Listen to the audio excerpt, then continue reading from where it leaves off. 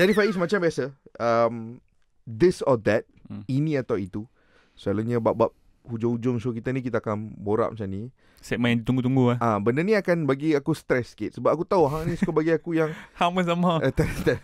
So Untuk minggu ni aku nak start dulu Sebab aku ada satu uh, Perbandingan Yang mencetuskan satu debat Di antara aku Dan juga rakan aku Ketika kita orang berada Di universiti dulu Okay. uh, Okay. perdebatan di antara aku ni kalau ketika aku membesar benda yang aku paling suka adalah wingers Oh, okay. Tetapi Siapa tak suka wingers? ah semakin aku tua 2010 2011 2012 onwards posisi aku paling suka adalah holding midfield aku suka posisi tersebut aku suka pemain-pemain yang ada uh, tidak diberikan penghormatan yang terlalu Eh. besar tetapi impact yang sangat besar Anti-hero. anti-hero. So, ada dua holding midfield ataupun box to box midfield ikut kepada definisi hang lah. Hmm. Tetapi dua midfielder Hmm. yang aku berdebat bersama rakan aku. Arturo Vidal ataupun Yaya Toure.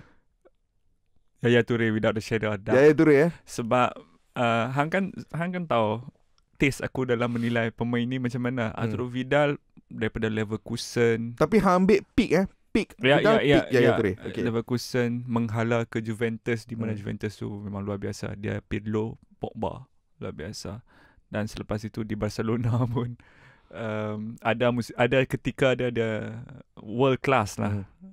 Tetapi Yaya Toure dia dia punya panache tu lebih kepada Yaya Toure sebab aku sangat suka orang yang execute sesuatu di peringkat tertinggi dengan a certain level of ease. Hmm.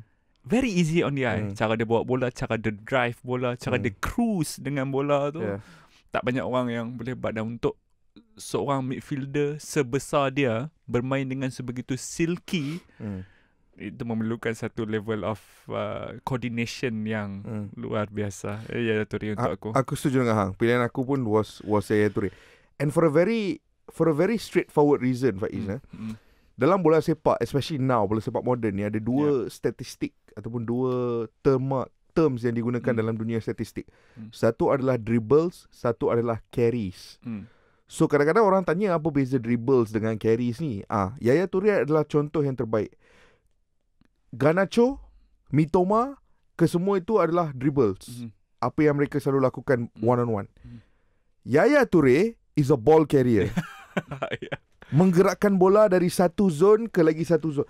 And dia buat benda tu seamlessly, yeah, Faiz. Seamlessly. Seolah-olah tak ada apa. Kadang-kadang hang tengok Man City main eh. Kadang-kadang hang tengok Man City main. Kalau hang tengok team lain main, hang boleh nampak satu progression seolah-olah sebuah choir. Hang tengok Barcelona bawa Barcelona bawa Pep Guardiola dulu, pergerakan bola dari belakang ke atas tu berlaku in a very seamless way Hmm, hmm. seolah-olah ia adalah sebuah kon- choir yang ada conductor Hmm. sendiri.